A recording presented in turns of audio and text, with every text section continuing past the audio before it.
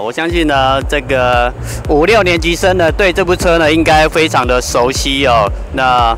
那个时候，这个卡塔纳这个刀啊，它的整个线条的设计非常的特别。那我记得是从一九八二年的时候推出的吧？哦哦，那。推出之后呢，其实这刀啊一直生产到将近两千年左右才停产了。我记得我朋友就有收藏一部这个 Final Edition。那这个车子其实那时候国内刚开放重机的时候，因为很多车刀的车迷啊，然后他其其实有从国外办二手车，那所以其实国内有少数的这个刀是有一代的刀是有正牌的哦，甚至还有二代的梦幻刀。对，确实。哦，那个也是呃，有少数几部正牌在路上。那这个车子的整个设计的非常的经典，而且呢，据说最初设计刀的这一个设计师呢，是一个德国人。那这位德国人现在呢？他人是在台湾哦，在大业大学呢负责这个工业设计的这个部分，这位教授哦。那我觉得这个，所以呢，这部车在国内其实是有一些渊源的故事的哦。那呃，球库呢，其实刚刚已经试驾过这部车了。那你试的感觉是怎么样？我觉得，因为旧刀老刀，其实我是虽然我看过不少台，可是我还一直都没有连跨都没跨上去过。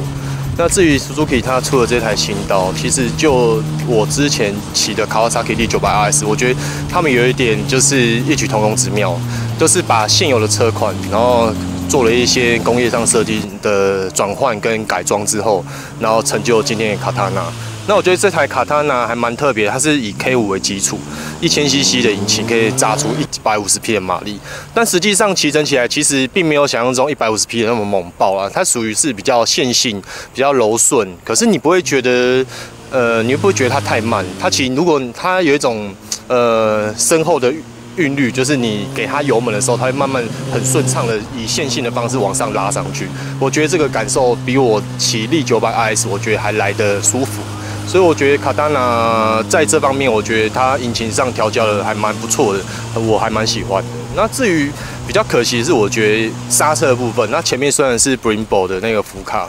那但后面是用 Nissin 的那个。那个单向呃单对向卡钳，我觉得就稍微有点不太够用了，对啊。可是它避震的设定上来讲，我觉得强度还不错，支撑支撑力很够。然后你在过弯的时候，你也觉得很灵活。然后虽然卡塔纳实车比我想象中还要肥，虽然大家在看照片的时候会觉得还蛮瘦的，可是实际上其实还蛮大一只。可是骑乘上去坐上去骑出去之后，你会觉得哇很灵活哎。比我想象中的街跑车还要好骑非常多，所以我觉得很不错，推荐给大家。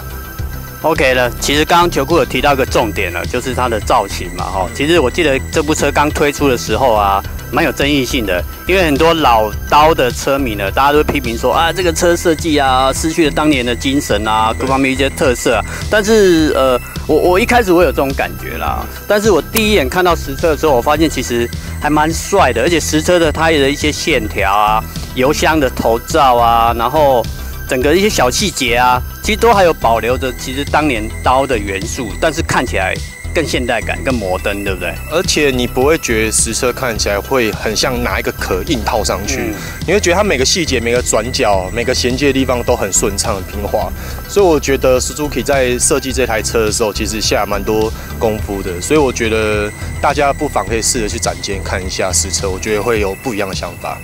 对。是的，就是如果说你还没有看过实车的话，我觉得先不要下评论，看到实车之后呢再来说。那以后想要知道更多关于重机的试驾内容还有报道呢，当然请密切关注我们 Top Gear 喽。